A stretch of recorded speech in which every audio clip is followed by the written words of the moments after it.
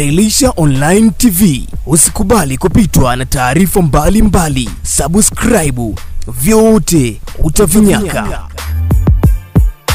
Ibana, Simba sio kwa usajili huu, yaani kama wamepania sana kwenye msimu huu kuweza kusajili uh, kwa sababu jana imetangazwa kwamba pia kuna striker mwingine kabla mchezo hujamalizika au baada ya mchezo kumalizika, pia ndo alionana na kocha Patrick Ausem, uh, striker mpya ambaye amedondoka nchini ama ameshuka nchini kwa uh, mwito wa uh, Simba Sports Club kuja kufanya majaribio, lakini jana ametua uwanja wa Taifa jijini Dar es Salaam na kuonana na Patrick Ausem. Mabingwa wa soka Tanzania Simba wamemshusha kifaa kingine safarini mchezaji um, raia wa Namibia. Imeelezwa ni mshambuliaji, jina lake halisi ni Sadiene Okobi.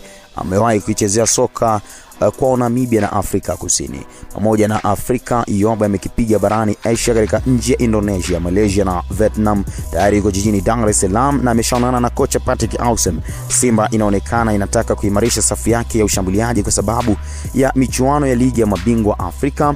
Tayari wachezaji wawili kutoka Ghana na Togo wako Dar es Salaam. Jana wamecheza uh, uh, wamechezea Simba dhidi ya AFC Leopards uh, katika michuano ya Sport Pesa Cup na yote haya yamekaa sawa. Kwa hiyo uh, mchezaji mwingine ambaye amedondoka ni huyu ambaye uh, anaitwa Saden Ikobi ambako yeye uh, anatokea Namibia na ni mchezaji ambaye kucheza katika klabu mbalimbali kubwa ama nchi kubwa ikiwemo Indonesia, Malaysia pamoja na Vietnam, lakini tayari yuko Dar es Salaam, ameshaonana na kocha.